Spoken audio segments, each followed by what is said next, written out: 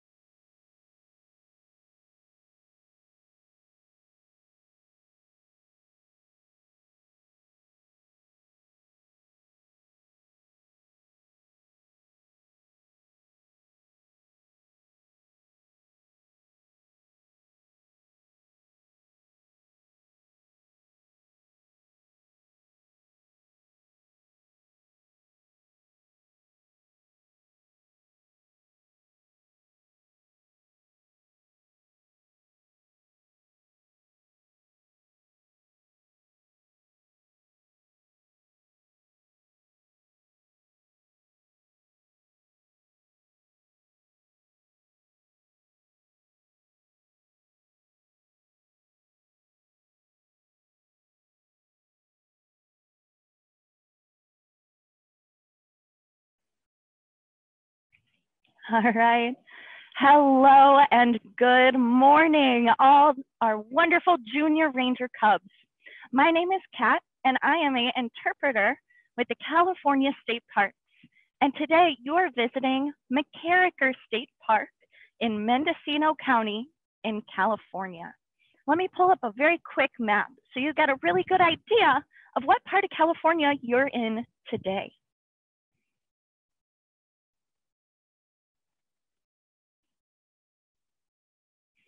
Here we go. Here's our California, and we are way up here in Mendocino. As you can see, our parks out here are right on the ocean, and the ocean is exactly what we will be talking about today. Now, if at any point you need to get up or go use the restroom, grab a glass of water, please feel free to do so. And through this Junior Ranger program, after this, you'll be prompted to take a survey, and that's how you are going to get your Junior Ranger badge for today. Now, what we're doing is we are going to read our book, The Snail and the Whale. And I promise we'll also talk about this big old skeleton behind me. Now, before we really get started, let's go ahead and we are going to take our Junior Ranger Pledge. This is a repeat after me. Are you ready? I, fill in your name, promise to treat the earth and all living things with care and respect. Promise to treat the earth with all living things with care and respect. Be thoughtful about what I do and how it affects others. Be thoughtful about what I do and how it affects others. And learn about the importance of nature and our heritage. learn about the importance of nature and our heritage. All right, great job, everyone. Now, like I mentioned today, we are going to read a really fun book called The Snail and the Whale. This lesson's going to be about 30 minutes. Now, we've already done our Junior Ranger pledge. I have one final challenge for you before we really dive into this book. In this book is the creature that this skeleton is.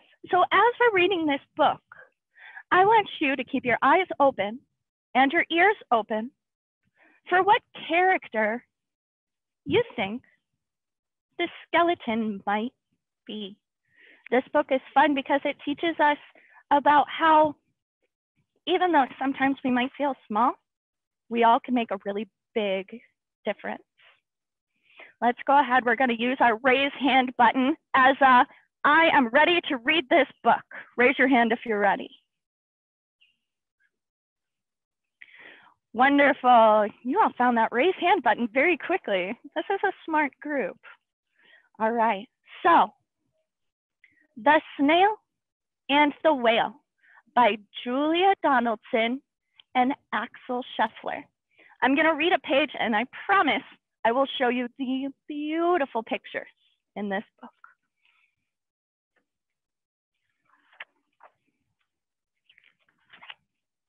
All right. This is the tale of a tiny snail and a great big gray blue humpback whale. Now, this is a rock as black as soot, and this is a snail with an itchy foot. The sea snail slithered all over the rock and gazed at the sea and the ships in the dock. As she gazed, she sniffed and sighed. The sea is deep and the world is wide. How I long to sail, said the tiny snail.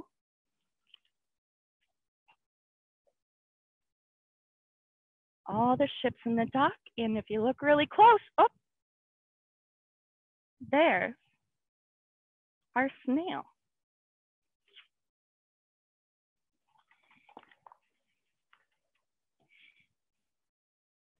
These are the other snails in the flock who all stuck tight to the smooth black rock and said to the snail with an itchy foot, Be quiet, don't wiggle, sit still, stay put.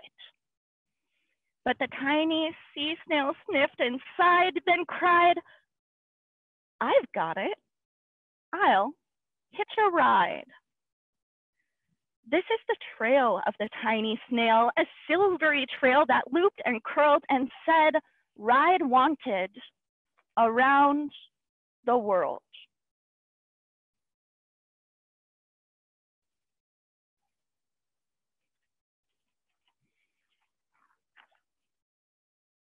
This is the whale who came one night when the tide was high and the stars were bright, a humpback whale immensely long, who sang to the snail a wonderful song of shimmering ice and coral caves and shooting stars and enormous waves. And this is the tale of the humpback whale. He held it out of the starlit sea and said to the snail, Come sail with me. Here's our big gray blue humpback whale. And there's our little friend, the snail.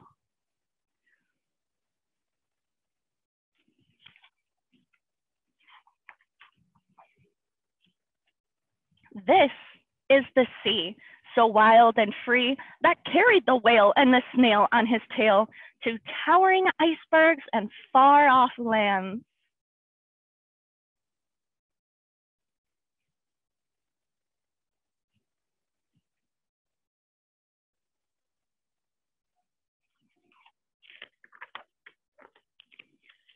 With fiery mountains and golden sands. If you look really close, oh, there's our friend the snail.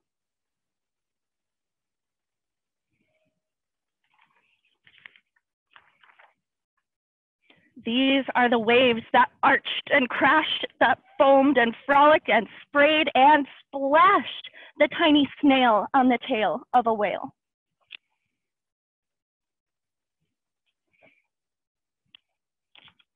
These are the caves beneath the waves, where colorful fish with feathery fins and sharks with gloriously toothy grins swam past the whale and the snail on his tail. Oh, there's a pretty toothy grins.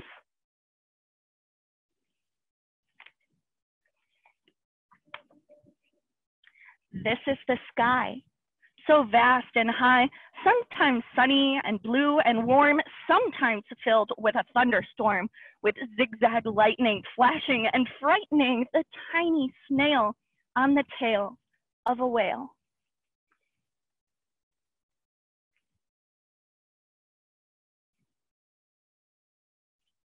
Sorry about that, guys. There we go. Ooh, thunderstorms can be scary sometimes.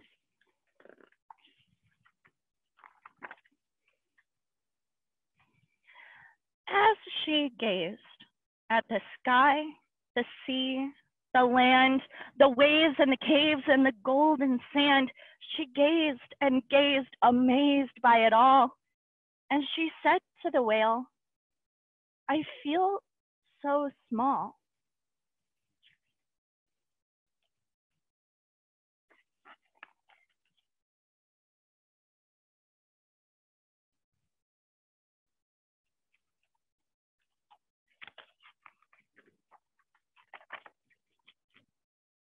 Then came the day the whale lost his way. There were speedboats running a race, zigging and zooming all over the place, upsetting the whale with an ear splitting roar, making him swim too close to shore.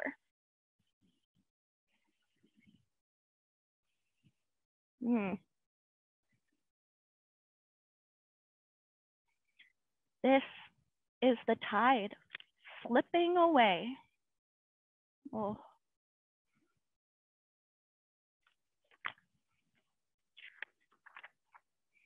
And this is the whale lying beached in the bay. Quick, off the sand, back to sea, cried the snail. I can't move on land. I'm too big, moaned the whale. The snail felt helpless and terribly small. Then I've got it, she cried. And she started to crawl. I must not fail, said the tiny snail. Uh oh, that doesn't look good for the whale.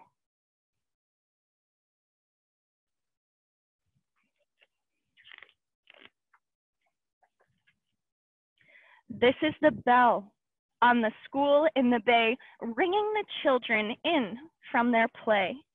And this is the teacher holding her chalk, telling the class, sit straight, don't talk.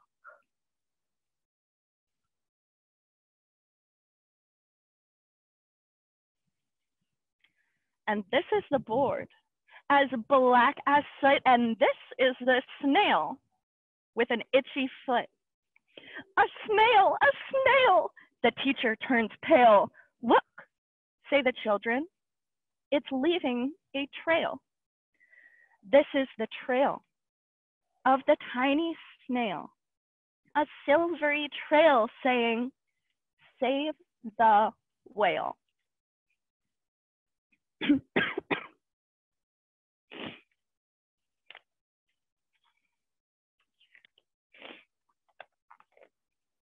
These are the children running from school, fetching the firemen, digging a pool. Squirting and spraying to keep the whale cool.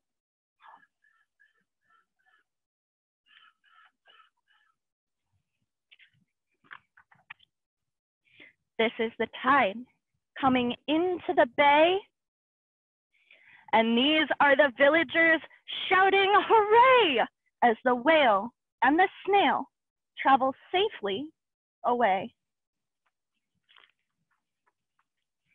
back to the dock and the flock on the rock, who said, How time's flown, and haven't you grown? And the whale and the snail told their wonderful tale of shimmering ice and coral caves, and shooting stars and enormous waves, and of how the snail, so small and frail, with her looping, curling, silvery trail, saved the life of the humpback whale. Then the humpback whale held out his tail and on crawled snail after snail after snail.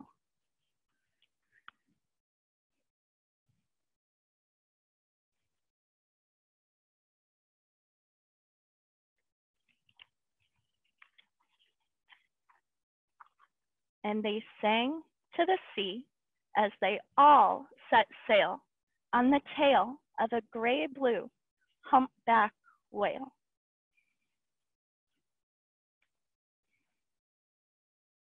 The end. So again, that story was The Snail and the Whale by Julia Donaldson and Axel Scheffler. Now, there's a lot of things we can take from this story about how far whales can travel, how they saw both the Arctic and those golden shimmering sands, but also how an animal, that little tiny snail, saved an animal as big as a whale. Now, I gave you a challenge before we read this book to try to figure out, based on this book I'm reading, what kind of animal skeleton is behind me? Go ahead and use that raise hand button if you think you know what animal skeleton is behind me. Oh, whoa. Oh, okay. It seems like I have a very smart, very confident group of junior ranger cubs. If you thought that the skeleton behind me was a whale, you are absolutely right. So this huge, beautiful animal, whales, we can see off the coast of California all year long. But not only that, whales live in every single ocean on our planet. Did you know that? Now, whales are really, really big. You know, I'm going to take a step back so you can see how big these animals really are.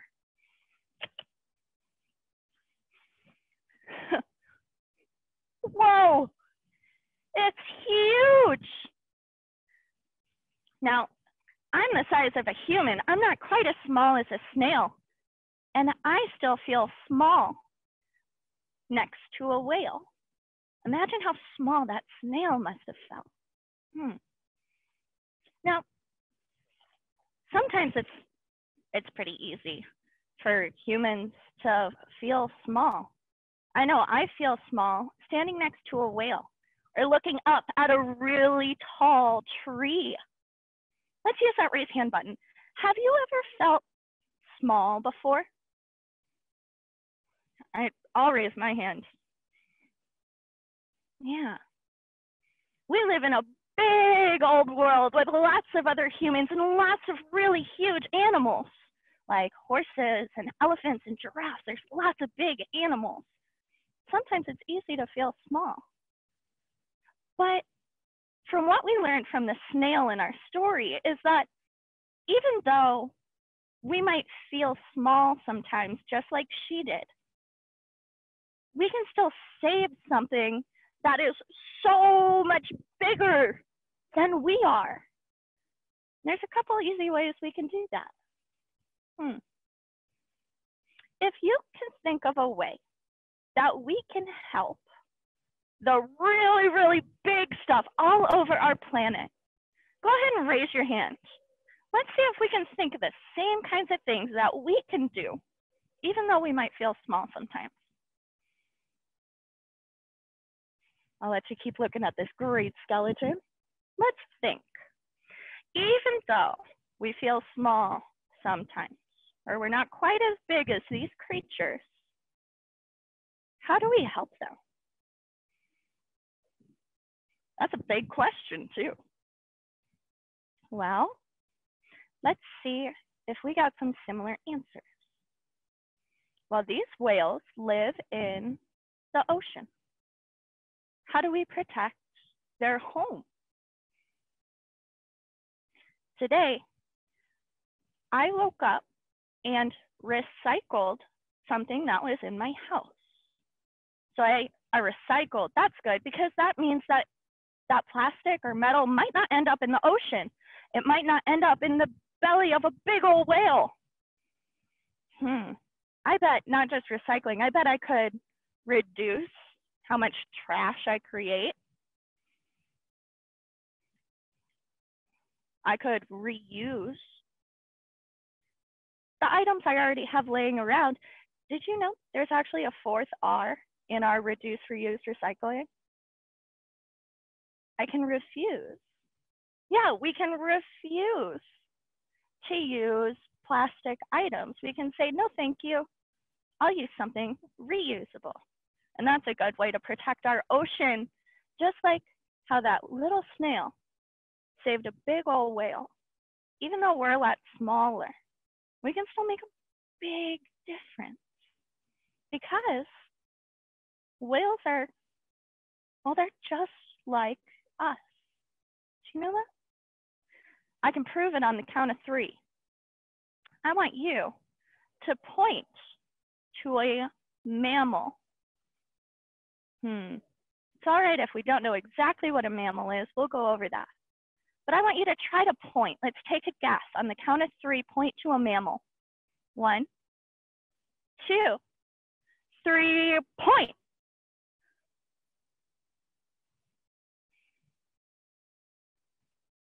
Yeah, all of us are mammals.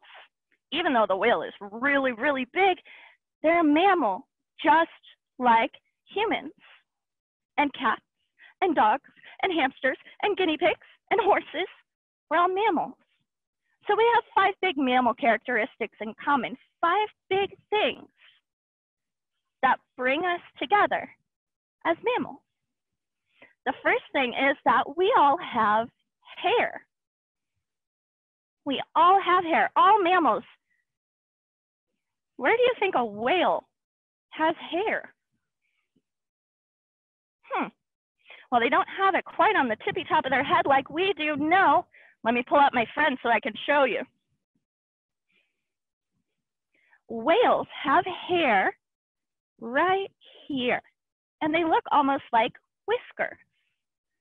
This part of a whale is called a rostrum. It's a big word. But they have hair just like us. So we all have hair. Number two, we all, I hope you're all doing it right now. We all breathe air. Even this big old animal that lives in the ocean. Whales breathe air through a blowhole right on the top of their head, right here. So they have to come up to the surface to breathe. So we all have hair, we all breathe air. Number three, we all maintain our own body temperature, or we're all warm blooded. So whales aren't quite like fish that are cold blooded. No, whales need to stay warm in the ocean, and they do so with a big layer of fat, big layer of blubber. Now, as humans, we're pretty lucky. Living on land, we might not get cold quite as often as a whale could. That, and we can also go get a jacket. So, hair, air, maintain our own body temperature. Number four, mammals don't lay eggs. Well, the vast majority of mammals don't. So, whales have to have their babies in the ocean. They don't lay an egg that will hatch into a whale. No, they have a live birth. And number five, we feed our young milk. So even in the ocean, young whales, their calves, have to drink milk.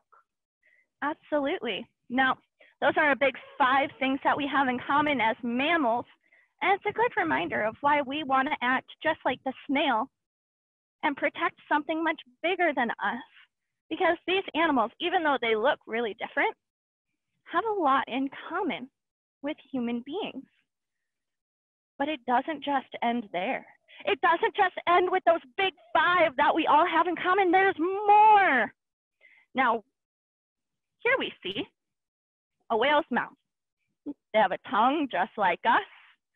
They have two eyes just like us and teeth. Hmm. Those don't those don't really look too much like our teeth. But this would be the kind of teeth that the gray blue humpback whale from our story has. They have something called, I hope you're excited for this, baleen. Yes. So this looks and feels really similar to a broom. And they have it hanging off the top of their mouth. And it helps them eat and catch their food. So this is what the outside of baleen looks like, and it feels just like a broom. And that's what the inside looks like, just like this. So when they scoop up their food, for humpback whales, they like to catch fish. So they'll open their huge mouth. And as they open it, it'll suck in all those fish. Sometimes they even get underneath a school of fish and just chomp. And with the fish in their mouth and teeth like this, they can't get out. Now this is from a gray whale, the kind of skeleton behind me. But humpback whales have something very similar. So I know this doesn't look very human. I said that it's something we have in common. This is made out of the same material as your fingernail and your hair. It's made out of keratin, not carrots, but keratin. And that's another thing we have in common. We have that in our bodies, something that we use. Now, one final big thing I want to show you that we have in common with whales is going to have to take a little bit of thinking and a little bit of creativity. I'm going to show you this front flipper of the whale. We're going to walk over there. And I want you to be looking for a part of the human body that looks a little similar to the bones in this front flipper. I hope you're ready. Okay, so the camera's gonna jostle around a little bit. So if you wanna close your eyes, I'll go ahead and tell you when we're done jostling around. Okay, we're moving, moving, moving, moving. All right, we're done moving for anybody that needed to close their eyes. So here we go. We're gonna pan on down. Now remember, you're looking for something similar. Something that looks like a human, part of a human body. So we'll go up again. And we'll go back down. Go ahead. I want you to use that raise hand button when you think of a part of the human body that has bones that look really similar to this. What looks similar or the same? Oh, man, this really is a smart group of cubs here. Now, if you were thinking a human hand or our feet, you're seeing the same thing that I am. Absolutely. So these bones look so similar to a human hand. It's cool because we see even more similarities in an animal that's much bigger and seems a lot more different than us. But in reality, look at this. They have similar bone structures. They just use them in a different way. Let's look for some other bones that a whale has that we can find on our body too. So there's the skull. We've all got a noggin. That's why we wear helmets to protect ourselves. So here we go. We got our skull. Let's travel on down. We're going to go all the way down this skeleton. What do we see on the top here. Yeah, that's gonna be that spine. We definitely have one of those, otherwise we'd just be a blob. Nice shoulder blade. If you reach behind your arm, just like this, you can feel yours too. We mm-hmm. have ribs. If you feel your chest, you can feel your ribs to help protect our heart and our lungs and our stomach. And go all the way, all the way, all the way, all the way down. We're following that wonderful spine. Yeah. So we see so many similarities, even though they live in a different home and they're much, much bigger than we are. It's still important to help though, because we have more similarities to this whale than even the snail in our story did. And the snail was able to help, even though she felt really small, she made a really big difference. So my challenge for you today, my junior ranger cubs, is to think about new ways that we can help animals around us, even if they're much bigger than we are, maybe even if they live far away from where we live, there's always ways that we can help, just like the snail did. Just because sometimes we feel small doesn't mean we can't make a big difference. Now, thank you so much for joining this Junior Ranger Cub program. After this, please make sure to keep an eye out for that survey because that's how you're going to get your badge for today. Now, thank you for visiting MacKerricher State Park. I've had a wonderful time with you. Thank you for learning about the snail and the whale, and don't forget your homework. What can we do to make a big difference? Have a wonderful rest of your day, everyone. Let's do a final raise hands as a of goodbye.